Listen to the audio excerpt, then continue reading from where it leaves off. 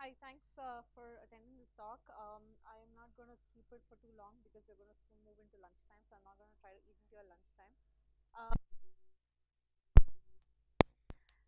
okay. Can you hear me? I think we're a pretty small room, so if people want to come forward, uh, let's just come forward because uh, I'm not, I don't have too many quotes like the last presenter did. Um, what I'm basically going to talk about is the process and uh, feel free to interrupt me. I have a tendency to speak too fast uh, uh, to catch up with the train of thought. So if you think I'm going too fast, just feel free to stop me.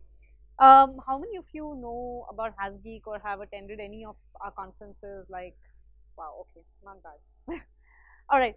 So uh, for those of you who do not know, um, I run a company named HasGeek. Uh, we organize uh, technology conferences for developers. Um, currently, uh, so we are not an event management company. Uh, we run as a media company where each of these brands, uh, except for a couple of them, are our own brands, and the ones that are not our own brands are leased from uh, other organizations that run these brands. Um, what I'm going to do in today's presentation is, is, essentially to walk you through this process of how we've actually kind of gone ahead and uh, taken this route of building communities ground up by organizing conferences a lot of times people ask us saying like you know this is not a scalable method. How are you going to like you know um, uh, how are you going to scale? Uh, organizing conferences is hard and maintaining communities is even harder. And when Naresh first approached me he said you know you guys have been doing it for the last five and a half years. You really need to come and talk about how you've done and what are the lessons you've learned. So this is really going to be a, a, a, a sort of a talk explaining how we've just done this ground up and what are the kind of things that we focused on um, and what are our constant learning and challenges what I will also try to highlight in this talk is how we've tried to iterate. Um, and I think uh, the, the model that we've adopted has really helped us to kind of learn fast and iterate fast.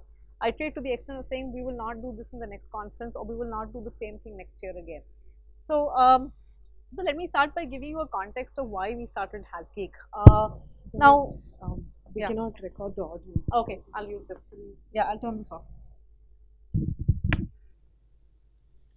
Right, so let me give you a context of why we started HasGeek. Now, the name itself suggests uh, HasGeek, which means we have geeks. Um, uh, and uh, what we are, what we do is we focus primarily on software developers uh, who are working in various areas of uh, web development, backend technologies, uh, mobile.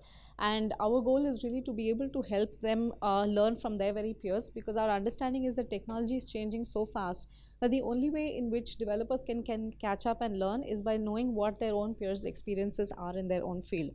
Now, um, back in 1990, between 1990 to 2010, uh, one of the challenges was uh, where do software developers really go to kind of like, you know, have conversations?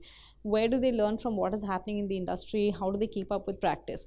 Now it's not like there were no events happening for developers earlier. Uh, there was FOSS.in uh, which was probably the only conference happening which was focused on trying to keep content independent and was focused on open source software. Most of the other conferences that were happening around that time were largely talking about uh, uh you know uh, they were largely focused on um, on, on giving Gyan to developers uh, from a very from a very marketing perspective. So you'd often have people from IBM, Microsoft, etc., doing talks, and those were not necessarily very practice-based talks. They were rather marketing pitches. Um, around 2000 also is when Barcamp came into the scene, where uh, the idea was let's do an unconference, let's get people to come together and converge around talking about interests. So if some of you have attended Barcamp, you know that the format is that the schedule is never announced. It's sort of created just on the day of the conference. And what tends to happen is that people gravitate around those kind of talks or sessions where they have an interest in having a conversation. So let's take, for example, Barcamp uh, Mumbai, where one of the sessions was literally how do you set up a bar and how do you mix drinks. People who are literally interested in that session sort of gravitated and and and went to have that conversation. So what um, what our realization was that um, number one uh, developers need a place to go to and to talk about their day-to-day -day practice.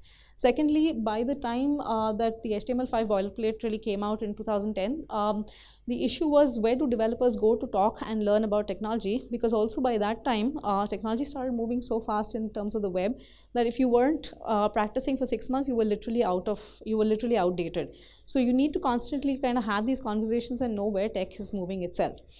Um, thirdly, what we wanted to do was to capture institutional knowledge and create a professional organization where you can run conferences on a regular basis without having to uh, um, without having to fall back on the kind of learnings. Uh, so essentially one of the issues that used to happen with volunteer driven events was that because a lot of these things were organized by volunteers, the institutional knowledge would keep getting lost every time you did a second edition of an event. So, for instance, you did Bar Camp 1, and then the next set of Bar Camp 2 was sort of taken over by a bunch of volunteers who would not necessarily have the context of, of the kind of discussions that went in organizing session 1.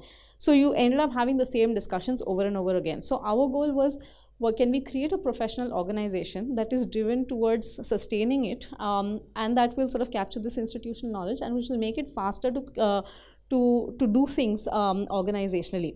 And uh, I think the final thing that we were sort of very focused on is that um, while there was a huge hype around that time because blogs were in place and social media was happening, uh, what we felt was that you still need physical events to help a community congregate. Uh, while you, while we keep saying that you know people need to kind of, you know, while we can say that you know people are congregating around Facebook uh, communities right now, or they're talking on Twitter, one of the things that is important in the life of a community is that they need physical events to sort of come together, uh, even if this is just once in a while, to kind of energize and to have those kind of conversations. So even if you, for instance, take uh, global examples like the Chaos Communication Camp, which happens once in every four years in Berlin uh, people always come together to this event to recontinue the conversations that they had four years ago or to meet friends. So communities essentially, if you're saying that a community is about conversation, about networks, about collaborations, then people do need a physical event once every while to be able to come together. So with that conviction, we said, okay, we will start a company where our goal will be to keep producing focused conferences um, that will cater to the needs of very specific developers. So um, uh, while I've been sort of harping on this whole idea that you know our goal was to sort of like you know facilitate communities, things that I'd like to make very clear is we're not the owner of these communities. Uh, which means that our goal is to help people come together um, and then while they come together in an event they sort of have collaborations they have conversations and various things sort of happen. We've never said that we own any of these communities. Uh, we may organize meetups or we may sort of uh, you know support other groups to organize meetups and there might be uh, initiatives that get spinned off. So for instance uh, bangalore js which is one of the javascript meetup groups came out of uh, the efforts of one of our conferences which is called JSFOO where some of the people who were attending the conference decided over two years that they wanted to get a meetup group going. And then our goal was to just help to facilitate them in the first few meetups, and then the meetups have been running uh, uh, uh, by themselves. Now, so that was really what our goal was that, you know, we will not say that we own a data science community in India or we own a DevOps community in India, but that we will facilitate these people to come together to make these conversations. And we can facilitate this by two means. One is, of course, by organizing the conference itself, and then to see how are the other ways in which these conversations can happen. Um, what we were also very clear about over a period of time was that uh, you need to organize conferences and build communities around emerging problem areas and not necessarily around the technology itself.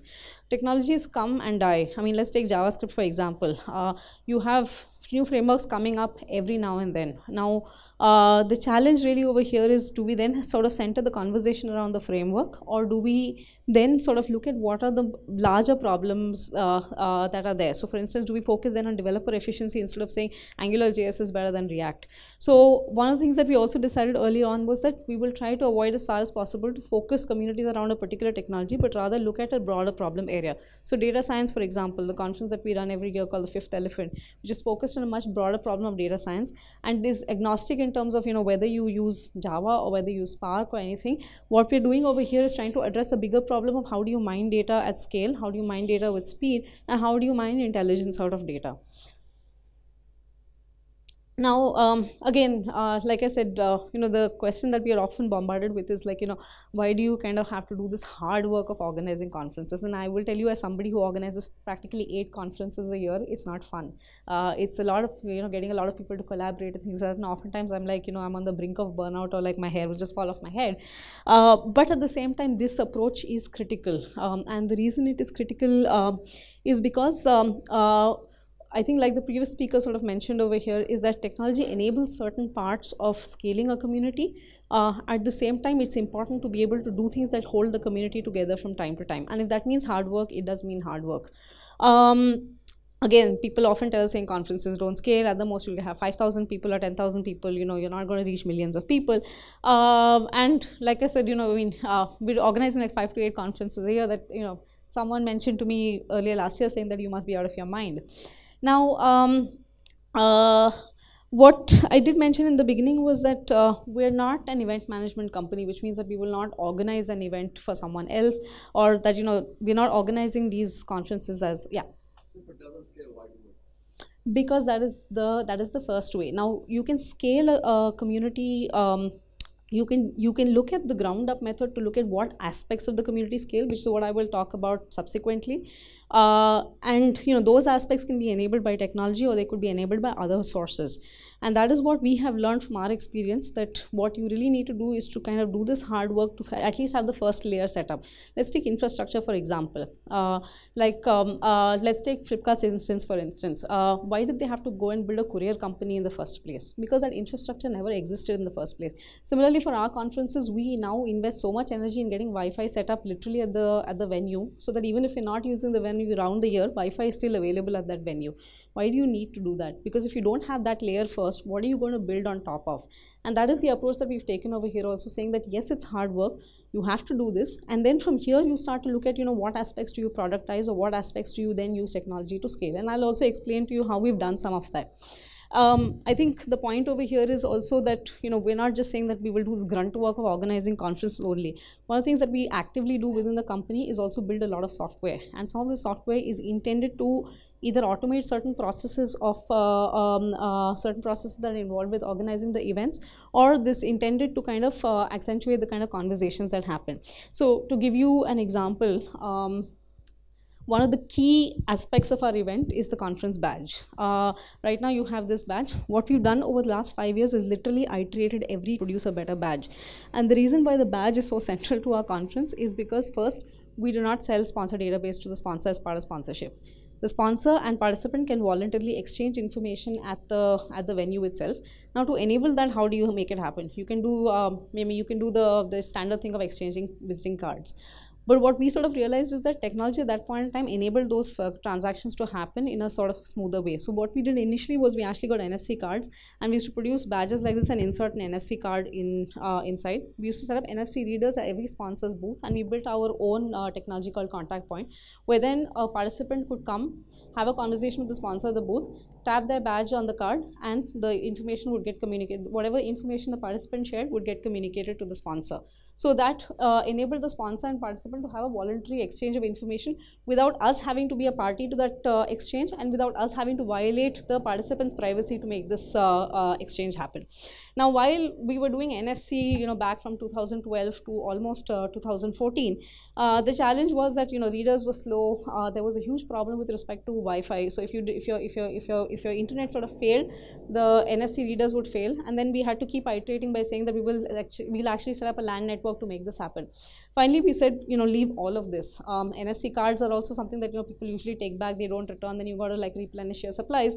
And what we've started doing right now, which is sort of not very visible in this photograph, but maybe I can show you a bunch of photographs later, is now we actually uh, produce a badge which has a unique QR code on it. Um, and that is pre-printed before the participant comes in. So every participant gets a badge with a unique QR code sponsor simply has to sort of uh, scan the QR code because QR code scanners are very easy to get or you can even download an app and scan it off and that enables a much more faster uh, transaction of uh, information between them. The other thing is it's not just, I mean the badge is not only central for this particular reason, it's also uh, one of the things we realized early on was that when you give out a printed schedule to participants, they usually lose it. Then you put schedules out on the board like this and people are still scrambling. Finally, we said, okay, let's do a simple thing. Let's eliminate this plastic pouch because first of all, not environmentally great. Secondly, we now introduce a badge which is a flap, and I'm sorry I'm not carrying a sample of the badge, but now we literally sort of print the schedule in the badge itself. So all the participant needs to do is to either like turn the badge back and look at the schedule or just open it up. So what I'm essentially trying to say is that um, um, what what our model has also enabled us to do is to uh, make the experience smoother and at the same time uh, look at what parts of a conference can be automated and can be made easier to kind of organize over here. Uh, so this is just one instance. We've built a bunch of web apps. Uh, yeah. So my question is to a stage before this. Hmm. What kind of barriers to entry you face least even have them come to? Right. So I'll, I'll cover that okay. now subsequently. Right. So I think uh, the the biggest uh, uh, the biggest factor that sort of drives in in getting all of this together is you know around what do you have a conversation, and so for us the sort of the guiding principle of a conference is the content. Uh, how do you kind of get the content together in such a way that you then enable that conversation to happen or rather even before getting the conversation to happen how do you get that audience in the first place who will then form the community to go forward? So one of the things that we sort of stuck uh, stuck very strongly on is that each conference has a fairly tight focus. And when i say it has a very tight focus it means it is meant only for a particular group of software developers. So let's take for example the conference that's happening now on 14 15 april. It's called rootconf and it's meant only for systems engineers and for devops and for people who are dealing with it infrastructure at large scale we're not interested in having designers or front-end developers to come over here. It's going to be two days of just discussion about how do you design complex systems, how do you cope with failure, and uh, how do you kind of scale your infrastructure. Whereas, you know, the uh, conference subsequently that will happen in May will bring in only product engineers and product designers because the idea is that we're only going to talk about design around product and how do you kind of uh, uh help your user to stay in the home of your product. Similarly, in July, when you organize a conference, we'll have a data science conference, and that is probably the only conference we do where we try to bring in a slightly more diverse audience because data is not just a technology problem, it's a business problem. So you try to get the, the tech and the business uh, groups to kind of talk to each other because this is where the conversation really needs to happen.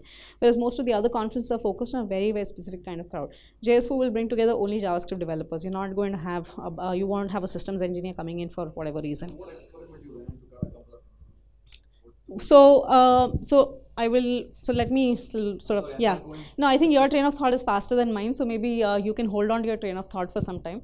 Uh, um, so uh, so the so I think uh, to to kind of uh, to to to get to that question um, I think number one was every time we decided that we're going to launch a brand or we're going to do a particular conference, we were very, very clear that it's going to cater to a certain group of people. And also, we had to think slightly ahead of time. So, for instance, when we launched JSFOO in, in October 2011, JavaScript was just about beginning to catch up. It hadn't gained the kind of international attention in India, but we said this is going to be a very important language for web development and for web developers.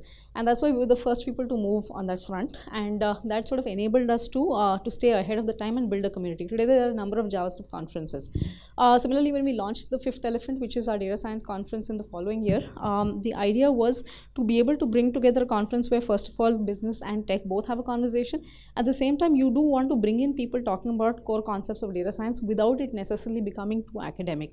So for once, here is a conference of practitioners, which even academics will come to because there's a sort of practice going on over here. So every time we launched a brand, it was very important to ensure that, the, that there was a clear focus and there was a very clear intended target audience in mind. And over a period of time, one of the lessons that we learned is while it's great to have a lot of content in a conference, so I suppose over here there are four tracks going on simultaneously, we actually made an experiment where in the in one and a half years of organizing conferences, we decided every conference will have a single track only, which means we will make sure that everybody is sitting in the hall at the same time. And this is important for two reasons. One for a speaker this is important to get that kind of an audience and so that the audience is not split and the speaker is serious about the kind of content that she or he is delivering Secondly, to have a single track means that you're going to keep your, con your conversation focused only around that particular theme. So every year when we organize the conference also, there's a very specific theme in mind. So let's take RootCon for example. Last year we spoke about virtualization. It was very clear that we are going to talk about virtualization and, and multi-thread computing only. This year it is only about learning from failure. How do you design complex systems for failure? So every year the conference also has a theme and we ensure that there is a sort of a very tight focus and all the talks are sort of centered around that theme and that you keep your audience and your speakers sort of glued together by saying that you're only going to do a single track or two tracks uh, uh, depending on um, the, the, kind of content you're covering. So that was an experiment that we did one and a half years ago. And of course it was very uh, i think it was very scary for us also to say you know what happens when you do a single track only? Because if your talks don't do very well if even three out of your 11 talks don't do very well the um, the impression that the audience gets uh, goes back with can be pretty uh, can be pretty embarrassing. But we decided that this was the way to do it and um, and so that was one of the iterations that we sort of did. Um, the other thing is um, uh, how do you uh, i think a lot of people keep asking us saying how do you get speakers for your conferences? And this is something that we've experimented with over a period of time. When we did our first set of conferences between 2010 and early 2011 we literally handpicked speakers and said okay you know these are the speakers who are going to talk. But i think subsequently we arrived at at least two realizations. Number one we said is that if we want practicing developers to talk to other practicing developers how do we discover who these practicing developers are and where they are sitting around and secondly how do you kind of what kind of a system do you build to be able to attract more people to come forward and uh, and and talk? And that's when we built a, one of our first web applications which is called talk funnel it's somewhat similar to what ConfEngine is. Uh, but the idea of, of talk funnel was that uh, you know here's a place here's a form you can fill it up. You can propose a talk to speak uh, whether you will actually make it to the stage or not depends on the kind of process we follow. So um, what we did initially was that uh, uh, we got people to sort of uh, you know say that you propose a talk and then you popularize your talk by tweeting about it uh, you know by uh, by getting more and more people to vote for your talk. And so in the first two years all we did was get speakers to submit talk and then build traction around it and and then see that whichever talk had the highest votes could actually sort of get to go on stage. Of course in one and a half years we realized that you know the system can be gamed quite easily because you can get so many people to kind of vote. So what we did was we introduced uh, we introduced another we introduced a second layer of filtering where we said that what we will do is now uh, get people who are our past speakers or who've done significant work in the community to now come and look at uh, to give like a third perspective to the talk. So while you have the votes let these people also sort of like you know take a look and say like you know which of these talks actually qualifies to go on stage. And that's when we introduced this idea of an editorial panel um, the editorial panel is basically people who are from the community who've been past speakers and who've done interesting work. And for us, this panel is extremely important because these are the people who will then go forward to kind of like play an important role in the community. Um, if you have to grow a community, you also need to be able to uh, reinforce and hone leadership. And uh, that was the way we kind of uh, built the model over here. Um, the editorial panel uh, has also gone through a whole number of iterations. While initially this was this used to be like a group of four people who used to like you know come together, select talks and all of that. One of the challenges was that because it's all, it's all volunteer driven, uh, it was very difficult to get each one of these people at the same time to kind of like you know curate talks and therefore over a period of time we said okay we will now refine the criteria and the way we kind of do editorial and now we literally have just one or two editors per conference where the idea is that the editors should have the experience of conferences. Either they speak at other conferences or attend other conferences and they should have a sort of a passion for the community that they really want to build this community and therefore they're giving their time and energy over here. So all our editors are currently all volunteers and uh, we now kind of use this criteria. But also as i will sort of point towards the last slide now what we're doing is expanding the whole pool of editorial by saying that there are not just one or two editors per conference but you actually have a pool of people who are interested in curation and this could be curation around the conference or meetups or other forms of content and how do you kind of build that collective um, I think the editorial model has also been very useful for us to identify a number of people who have an interest in promoting the community and that makes it very interesting and important to kind of propagate the community itself. Um, I think at this point the question would be like you know uh, who sort of speaks and why do they speak? We don't pay we don't pay our speakers. Um, many of our speakers literally just travel across the world and pay for themselves and even come here to speak. And so why do they choose to speak and how do we kind of select speakers? Um, like I said, every person has to propose a talk to speak. Um, and what we then do is to kind of like uh, select the talk. Uh, I mean we we review the talk, we refine the talk, we even give guidelines, and everybody has to submit an outline. And there's a whole rigorous editorial process which we could talk about later in the Q and A. But uh, you know, uh, who gets to speak? It's a practicing developer who has to speak to other practicing developers. You have to be able to provide an insight to the audience and only then is your talk considered meritorious because if the audience is sort of coming there and, and, and paying to hear you speak they need to take back something either they take back uh, in terms of you know direct correlation to what you're saying or they're able to abstract what you're saying. So for instance if there's somebody from flipkart who's sort of speaking at stage it's not necessary that everybody in the audience is also operating at that kind of scale or is dealing with those similar challenges. But the speaker should be able to have the ability to present a picture in a way that the audience member can literally abstract and say okay you know while i don't operate in this domain or i don't operate at this scale i could sort of apply this or i, I should not be applying this solution to my problem the way a speaker also presents is that you're expected to provide uh, an answer to why did you make a certain technological choice and not just say I made this choice and this is how I did it because how I did it is available by dime a dozen on the internet. So our, our, our, focus increasingly in the last couple of years has been to push speakers and say, please talk about conceptual uh, problems. Please talk about why you did something versus why you did not do something because that choice is very important for a uh, audience member to understand. And as much as it's important for the audience member to understand patterns, it's also interesting for a lot of audience members to understand what is the anti-patterns and what they should not be following. Uh, a lot of people who choose to speak uh, on our stage do it for a, a, bunch of reasons, and I'll try to highlight a couple of them. I think one is, of course, uh, reputation. Um, when you speak over here, you're actually sharing your work with your peers, and uh, the kind of feedback that you get from them is phenomenal. Um, and that is one of the reasons why what drives people to actually come forward and speak over here. Um, secondly, it's an opportunity to kind of share your work, and uh, you're sharing your work directly with the people who are recipients of, who could be kind of using your work. So it's also good feedback uh, over here, and uh, a lot of people who've gone on to speak uh, at our conferences then go on to also speak at other conferences, which doesn't mean that it doesn't happen anywhere else. Uh, but uh, we've constantly found a lot of our speakers then sort of like, you know, going on international stages and speaking. And again, this is one aspect of this whole process the last five and a half years that we're now trying to uh, focus on even more, which is how do you give more and more reputation to your speakers? How do you enable, how do you actually scale their visibility and their reputation beyond the conference itself? And that's sort of now leading us to think about content in various forms um, it's not like everything works fantastically well and i think in the life of a conference there are a lot of things that change. And as much as a conference sounds very mundane there are it's it's almost like an ecological system that sort of transitions year on year. Now while i said initially that we do need to crowd we, we crowdsource content we've also realized there are times when you have to literally infuse content into a conference. So again let's take the example of the april conference that's coming up because the theme was so specific saying that we're going to talk about systems uh, complex systems and how do you design them for failure one of the challenges we realized early on was that the kind of people who do this kind of work are not necessarily sitting around waiting to speak at a conference. They're probably like you know fighting fires every now and then.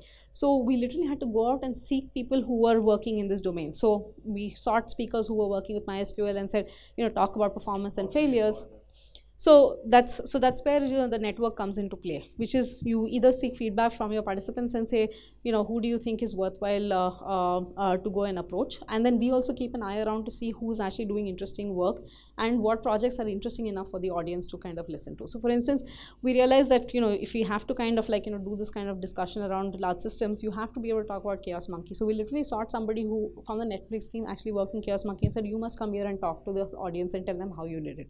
So in a certain way, what is very challenging for us always is that how do you keep the content ahead of the times um, and how do you keep it relevant for the community? Because that is really how people are going to congregate for having that discussion in the first place.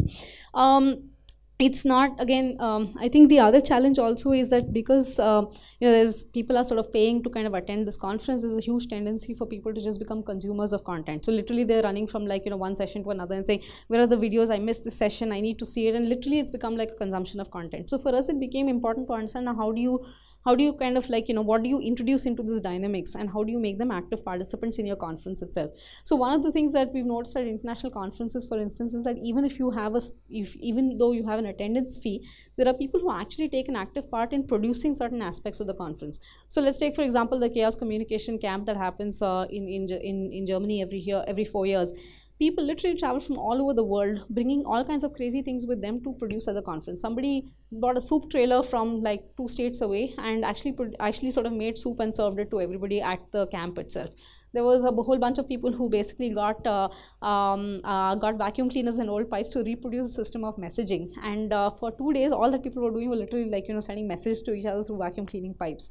Now, um, what is magical about that experience is that because you're a producer and not just a consumer, the environment completely changes. And for us now, the challenge is how do you make your participant an active uh, uh, contributor to what you're trying to do. So now going forward, the question for us is how do you have installations? How do you have activities that help people to come out? And I think one of the uh, experiments we did last year was to say that you will not just sort of have talks that are going on at, a, at any given point in time. What you will also do is uh, have conversations around very structured uh, uh, questions. So we introduced a birds of feather sessions and said, okay, you know, people have a choice. You can either go and listen to your talks or you can come together and we'll have a conversation around a question. So for instance, um, you know, uh, one of the questions uh, that we introduced at RootConf last year was, um, uh, you know how do you uh, choose uh, your options with virtualization? And then you had representatives from like uh, uh, you know each of these and people had a conversation there. Or we had a conversation around like you know why do you choose mysql versus when you choose postgres? And of course people sort of came and had a huge fight and it was almost like a religious bloodbath. But uh, what was interesting was that for once you could actually take people out of that experience and get them to have a conversation outside. So um, for us it's also important to keep experimenting uh, about formats within the format itself in order to have the engagement going on constantly. Because what matters in a conference is not just the content. It matters what is the kind of conversation you're having and what is the kind of takeaway that you have.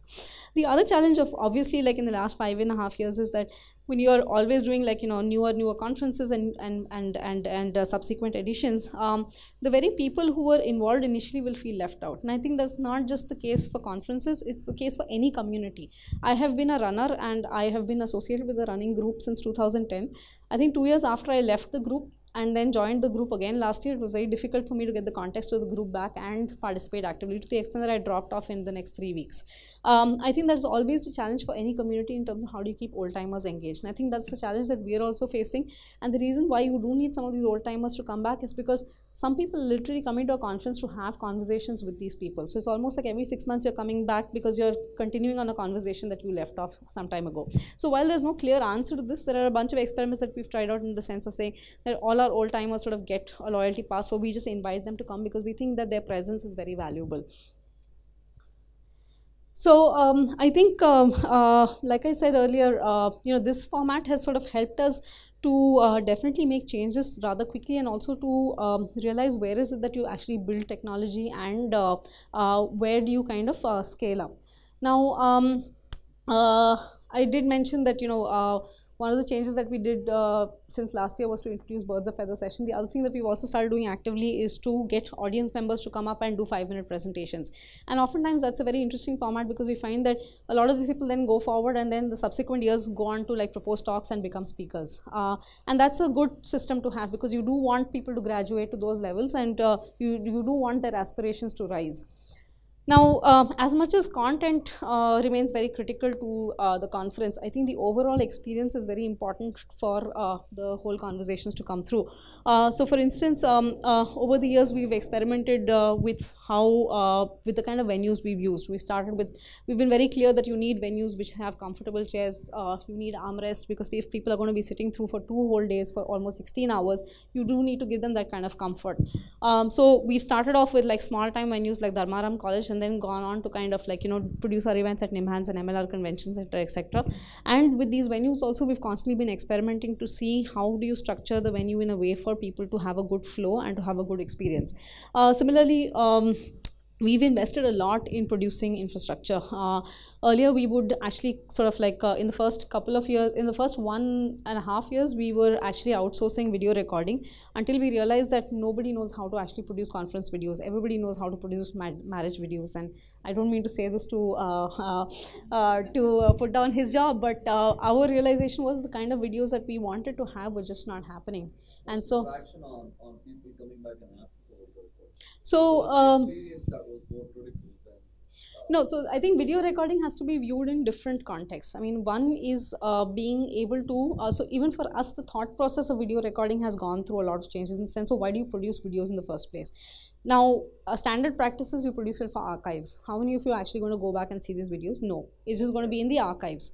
Um, our realization in the last one year was that you need to produce a video in real time and actually make it available as soon as the session is over. So that if there's a conversation going on around twitter for that particular talk then you can say okay here's the video. You can also take a look at the snippets. Now we don't expect everybody to see a full 45 minute video but this is the way in which you this is one of the ways in which you scale the reputation of a speaker. So for instance uh, last year um, we had a talk uh, by Vishy Malhotra who was then with Cleartrip and he talked about how Cleartrip actually built uh, uh the mobile app as a product. And uh, he literally talked about it from a product experience the moment his talk was done, we immediately put it up live. Uh, I mean, it was streamed, it was recorded, and then immediately there were a bunch of people from YourStory who wrote a, a large article about it, and Vishy got his own reputation as a result of that.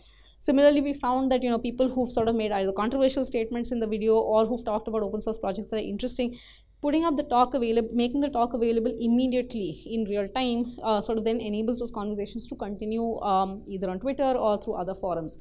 Now, lifetime of the video now it will drop off. I mean there is no doubt that it will drop off. But some videos for instance gain a lot of traction. Like in 2011 we had a talk on backbone and that video is still very popular and still extremely widely viewed. For some reason or the other, it's become like this tutorial that people just have to watch. And the speaker has also sort of made it very popular.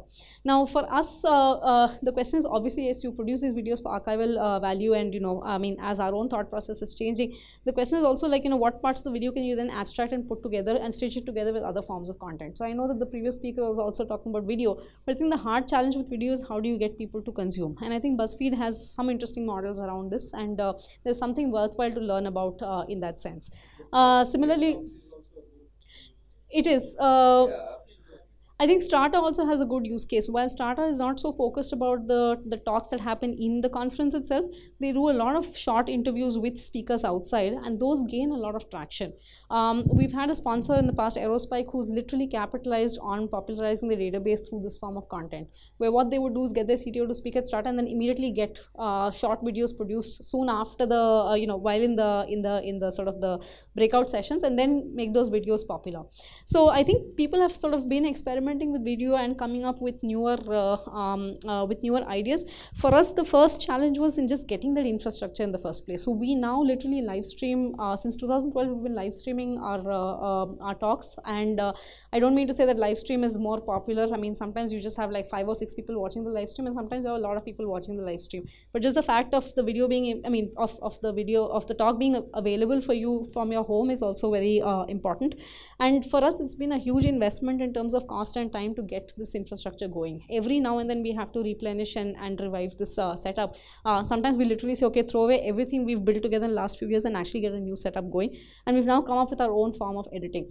And that goes simultaneously with the kind of changes that we've made with stage production as well. Uh, we've been trying very hard to look at how international conferences brand and uh, uh, get the stage setup right because stage setup is not right only for the aesthetics. It's also it's also important from the point of view of uh, the speaker's presence on the stage. So for instance back in 2013 we would make elaborate visuals that would go on our stage. And they'd be so beautiful that people would be watching the visuals instead of watching the speaker. And that made it worse with the videos. Because oftentimes you'd find um, i remember back in 2013 and I, we can play that video uh, when robert nyman came to speak at, at and uh, the theme that year was was bots. He was literally standing over here and the and the artwork literally had two antennas which would go up behind him. Uh, because the artwork at that time was all uh, was all sort of themed and graphic we finally came down and said no we look at the experience of other conferences and internationally and sort of like you know tone this down so that the speaker gets as much visibility and at the same time the brand sort of remains consistent. So um, similarly uh, i think the other thing that we've realized is um, is uh, even with respect to simple things like food uh, usually the, uh, the, the challenge that you sort of face over here is that uh, people are just sort of served very carb high food and post lunch it's very hard for a speaker to hold the audience's attention. And um, at the same time there's a genuine problem with the whole vendor system particularly in india where you know things are taken for granted over a period of time. And the last one and a half years we've said okay we'll go on to introduce food courts where you can actually sort of give a choice to people in terms of the kind of food they eat. And that i think is extremely important for the experience that you have at the conference um, similarly, collateral. Over a period of time, we've also realized that what people do want to go back with are gadgets and devices where they can actually experiment after the conference. So since last year, we've started giving out devices that are sort of relevant to the conference itself. Um, so for instance, we gave a virtual reality headset at DroidCon, and um, we also sort of coupled it with a couple of virtual reality workshops that were conducted by Common Flow and a bunch of other independent trainers. And it was a great experience because you know while virtual reality is not entirely mainstream, uh, it's just something that people want to play around with and gives them a sort of sense of happiness. It's also a way to kind of like you know push your uh, your consumer to becoming actually a producer uh, at at the conference itself. At Rootconf, for instance, we said okay the the the the, the most logical thing to do is to give people YubiKeys because you know it's all about security and uh, you know the kind of uh, the way in which you protect data. So um, similarly i mean like you know uh, when we do meta refresh this year we are producing prototyping kits to enable people to actually prototype. So the idea is to also sort of like you know um, uh, to give an experience to people that goes beyond the conference itself. Um, yeah i think we'll have to stop but i think what i'll quickly try to do is to uh, to literally summarize in terms of how things have sort of been moving forward uh, while I've said that you know we've been producing our own uh, brand of conferences, um, what has also happened with us now is that we've realized that you know in some cases you actively collaborate with others to be able to kind of produce a community and to produce content itself. Uh, so JuliaCon is a great example where uh, Viral, who's the co-creator of the language, and it's not funny. I was just here six months ago when uh, functional conf was happening, and I was having a conversation with Viral right here when we decided to do, to do JuliaCon. While um, you know Viral was a speaker at the Fifth Elephant, and uh, Julia started to gain a lot of traction in 2013 as a result of the talk that he did at Fifth Elephant, and eventually it came down to a point last year where we said, okay, you know, if we have to do a conference and build the Julia community in India, it's going to be a partnership between uh, uh, the foundation and between HasGeek. So this has been a great outcome for uh, for us. Uh, similarly, this year we are producing conferences with other partners like iSPIRT and others to realize to recognize what are the kind of challenges in the payment space uh, for developers and for businesses.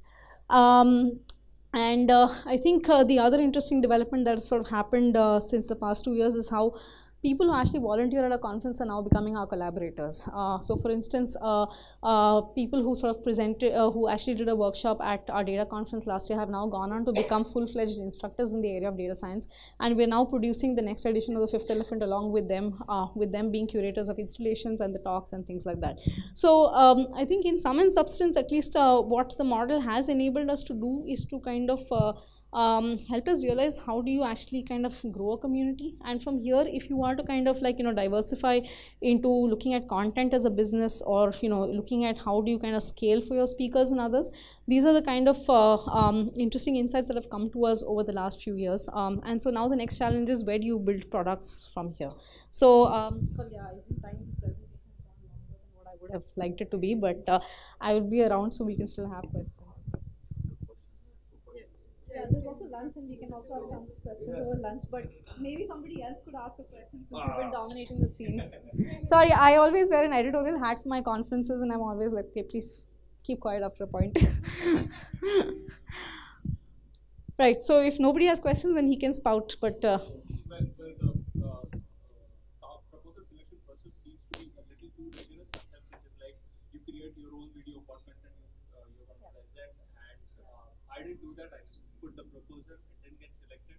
In the end, Ended up doing the same talk 15 minutes in the lunch break, and people liked it. So I don't know. I mean, so the, the content is a hit and miss. Uh, and I will not, uh, I'll not make any bones about the fact that selection is extremely painful and hard for us. Uh, uh, it's painful and hard for us because we have to go through so many hoops. As much as I think the biggest lesson we've learned in the last couple of years is that as much as we would like, as much as great content is important, a great speaker is equally important to deliver the content. And when I say great, it doesn't mean like you have to be fabulous and have, sure have spoken like several times, but you do need to have the ability to communicate that content, which is why we now made it mandatory for people saying if you're a first time speaker uh, or you don't have links to videos of talks you delivered in the past, please in two minutes like you know do a self-recorded video and show us that you can actually deliver this content. Because i can have a good i can have great content on stage but if the person doesn't have the ability to communicate it it's a problem. At the same time we've also introduced a, a, a rehearsals program now before every conference, three weeks before we have rehearsals, where everybody now gets to rehearse so that you get to kind of refine and fine tune your content and you also get feedback from a sort of a semi-live audience and uh, from a mentor who actually helps you to kind of do up your slides and things like that.